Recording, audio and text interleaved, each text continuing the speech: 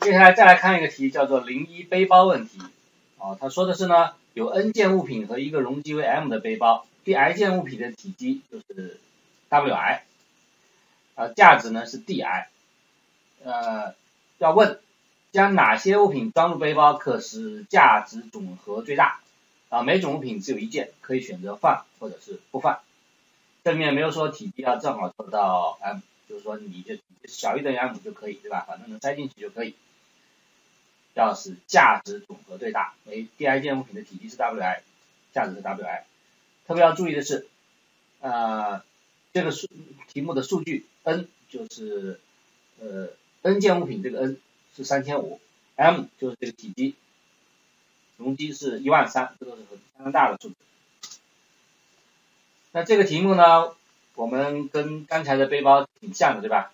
那我不妨用 Fij 表示取前 i 个物品或者前 i 种物品啊，使得它们的总体积不超过键啊，跟上一个题目不同的，在是不超过键，而不是正好等于键，使它们总体积不超过键的最优取法取得的价值总和，我们要使价值总和最大，对吧？这就是 Fij 就是这个最大的价值，这时候我们自然就要求 Fnm 啊，一共有 n 种物品，要让它们体积总和不能超过 m 嘛。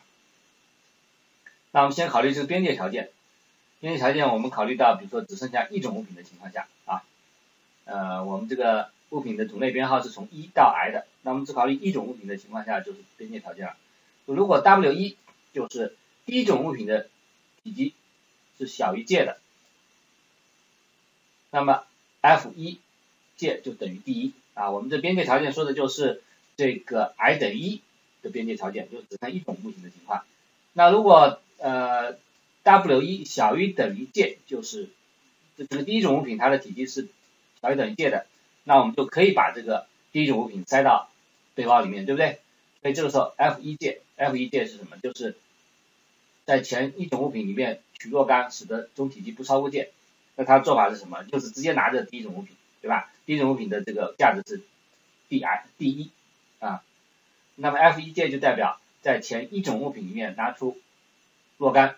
使得体积不超过 j，这样问你价值最大能达到多少？那这个做法是唯一的，就是我们直接就拿了第一种物品，对吧？那第一种物品它的价值是第一，所以说这个 F 一 j 就等于第一，这是一个边界条件。那如果 W 一小小 W 一是大于 j 的，就是第一种物品它的体积都已经大于这个背包剩下空剩下的这个呃容积了，那我们就不能拿第一种物品。所以这个 F 一界它的值是零，这个就是边界条件。那我们再看看第 C 式啊，我们用 F i 界表示取前 i 种物品使它总体不超过做界的最优取法取得的价值总和。那这时候 F i 界等于什么呢？我们可以写出这个 D C 式。那同样我们的思路还是对这个第 i 种物品，我可以有取它和不取它这个两种做法，对吧？嗯。针对这两种做法，呃，我们分别可以得到一个最大的价值总和，对吧？这是两种做法啊。你在取它的这种做法里面有个最大的价值总和，不取它的做法里面又会得到一个最大价值总和。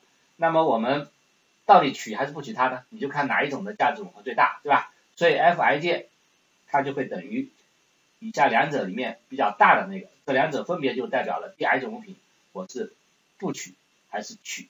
好那我们先看，如果不取第 i 种物品的话，那你接下来要做的事情就是要在前 i 减一种物品里面取若干，使它们总体积不超过 j。然后这个时候 f i 减一 j 就是指的是在这种情况下你能获得的最大价值和，就是在前 i 减一种物品里面取若干，使得总体积不超过 j。在这种情况下，最大价值和就是 F i 等于 j，对吧？好，那下面这一项呢，就是我取第 i 种物品。那取第 i 种物品以后呢，我们这个背包剩下的容积就变成了 j 减 Wi。当然，你这个阶必须大于等于这个 Wi，我们才会有这一等项，对吧？这可以另外再加一个判断。那总之，如果取第 i 种物品，那么背包剩下的容积就变成了 j 减 Wi，然后。那在接下来你要做的事情，就是要在前 i 减一种物品里面取出若干，使得它们的总体积不超过 j 减 wi。啊，在这种情况下，我们要使得嗯取得的物品价值最大，这个时候的总价值就是 Fi 减一 j 减 wi。但是呢，我们刚才取了 di 种物品，所以我们已经得到了 di 种物品的价值 di，对吧？那因此这两项相加就是我们取 di 种物品的情况下所能达到的最大价值和。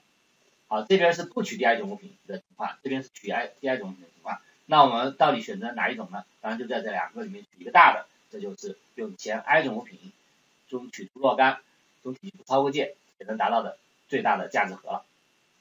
那这个问题其实没有那么简单了，我们看到我们需要这样一个二位数组啊 f，我们来存放计算的结果，对吧？那这二位数组到底有多大呢？那我们就要看这个 i 界的范围，对吧？i 就是一共有多少种物品，界呃 i 的范围就是物品的总数，呃。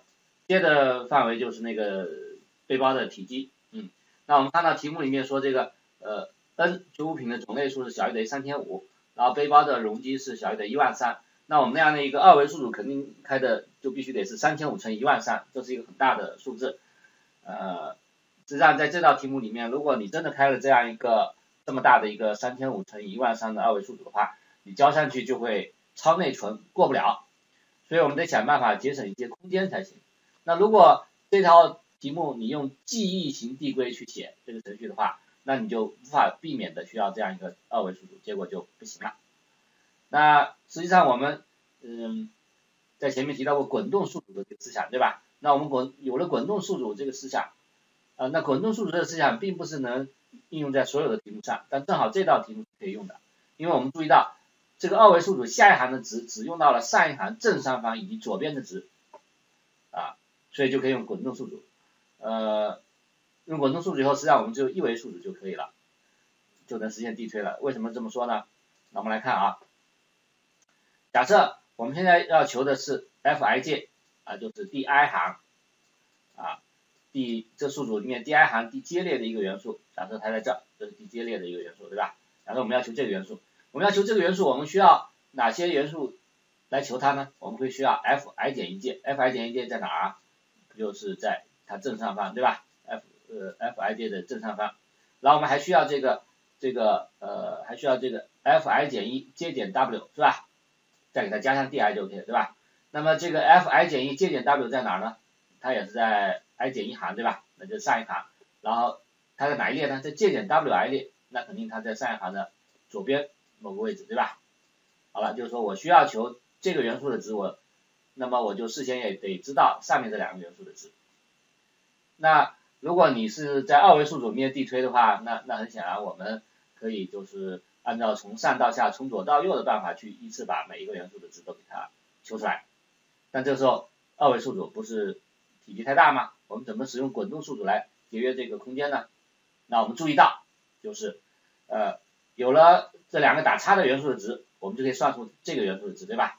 那我们算出这个元素的值的时候，实际上我可以直接把这个元素的值存在它上一行的这个位置。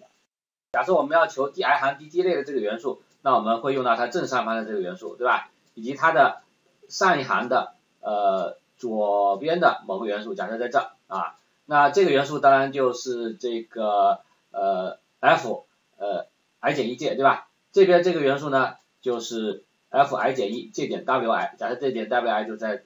等于它左边这个位置是吧？好，求这个元素的值的时候，我们会用到上方这两个元素的值。